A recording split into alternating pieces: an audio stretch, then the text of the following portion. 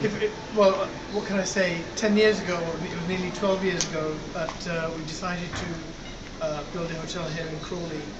And when I sort of dreamt up the idea and the business plan and went to the banks, and a lot of people said, Surinder, you're mad. Why the hell do you want to go and pump over 30 million into Crawley? And I said, no, I think Crawley will be uh, great for us, and you know, we're going to build something really quite unique and special.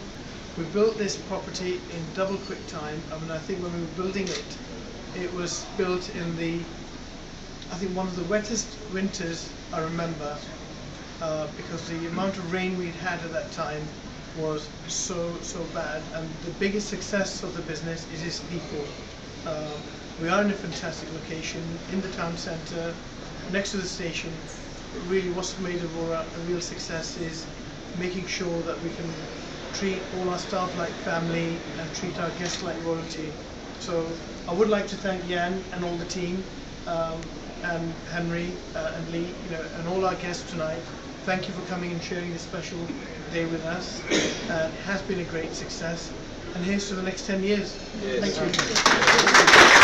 Surinder, thank you very much for your time, for inviting me this evening as well. It's nice to do something fun for a change.